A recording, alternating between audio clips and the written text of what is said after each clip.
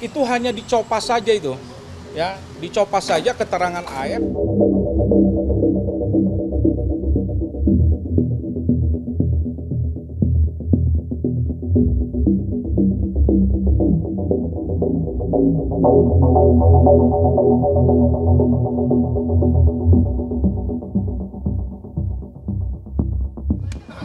Baik, terima kasih teman-teman. Eh, jadi sebagaimana yang mungkin teman-teman sudah ketahui ya, di mana klien kami juga saudara Dede sudah memberikan secara langsung keterangannya.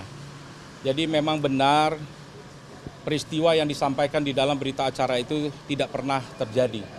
Jadi saat itu saudara Dede ini dihubungi oleh saudara AF ya untuk kemudian berangkat ke kantor Polres Cirebon. Saat itu dia tidak mengetahui sebenarnya apa ini tujuan ke sana. Dan ternyata sampai di sana dia bertemu ya pada akhirnya dengan eh, Pak Rudiana kemudian disampaikanlah agar memberikan keterangan ya sebagai saksi dalam peristiwa meninggalnya anak Pak Rudiana. Nah, Dede ini bingung karena dia tidak tahu apa-apa dalam peristiwa itu, bahkan tidak kenal ya. Nah, tapi kemudian dia harus ya melalui proses BAP tersebut yang sebenarnya peristiwa itu jangankan ya peristiwa. Dia tidak tahu nama-nama orangnya tidak tahu tidak ada yang dia kenal itu semua. Nah sehingga kemudian dia dari proses yang telah terjadi tersebut BAP itu dan juga memang kalau kita buka kembali di dalam berkas perkara putusan itu hanya dicopas saja itu ya. Dicopas saja keterangan AF kepada keterangan Dede ya dalam berkas yang perkara eh, Eko dengan Rivaldi kalau tidak salah dan lima perkara yang terpidana lain. Nah itu hanya dicopas. Kemudian Dede ini terpanggillah dia karena merasa bersalah, merasa berdosa, dia bisa sekian tahun berada di luar, menikmati kebebasan, kemerdekaan, bahkan dia bisa berkeluarga, punya anak. Tetapi orang-orang yang terdampak akibat daripada BAP-nya karena kuncinya di situ. Karena dua orang inilah yang ditemui oleh Rudiana yang kemudian menyatakan ada kumpul-kumpul di depan ya, kemudian dikejar ya, ada motor melintas dikejar, ada pelemparan dan sebagainya. Nah, dia merasa berdosa dan dia ingin menebus rasa dosanya itu. Sehingga dia menyampaikanlah yang sejujur-jujurnya dan sebenar-benarnya. Bahkan sampai ditanyakan oleh ketua umum kami, Prof. Otto, ini konsekuensinya ada loh. Kalau Anda sampai seandainya karena pengakuan jujur Anda ini, Anda harus masuk penjara. Ya, apakah siap? Yang bersangkutan mengatakan siap. Saya siap menggantikan tujuh terpidana yang sedang berada di penjara sebagai terpidana. Dan saat itu dia menyampaikan bahwa perasaan dia jauh lebih lega ya daripada dia di luar tetapi dia tahu atas perbuatannya sehingga teman-temannya eh, ada tujuh terpidana ya yang harus dipenjara seumur hidup. Jadi memang mengenai kasus ini sudah disampaikan sendiri oleh saudara Dede tidak ada peristiwa itu.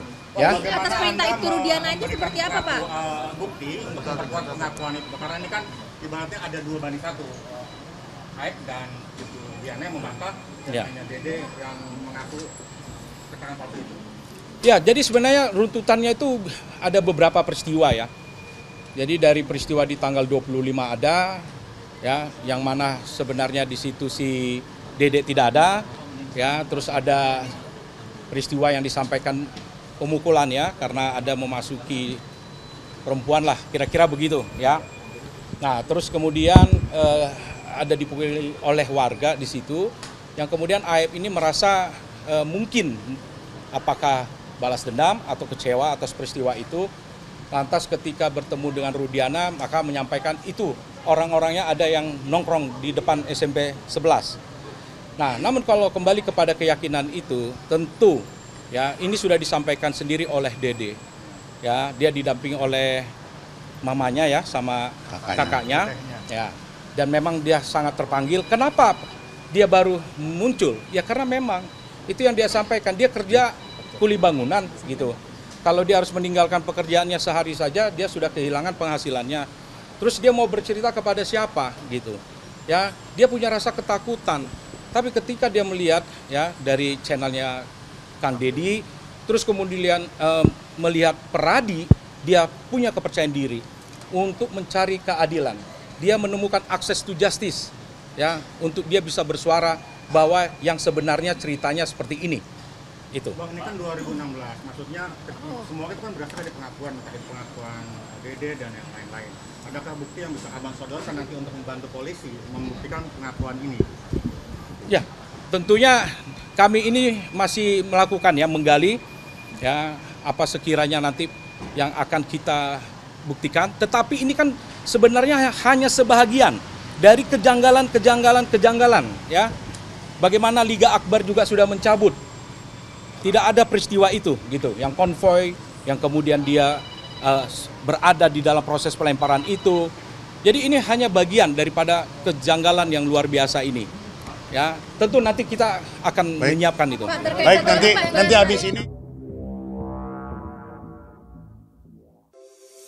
Antara banyak sumber informasi, kami layak dipercaya.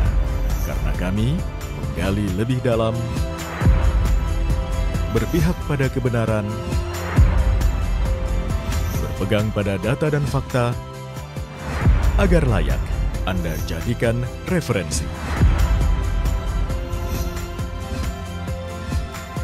Kompas TV, independen, terpercaya.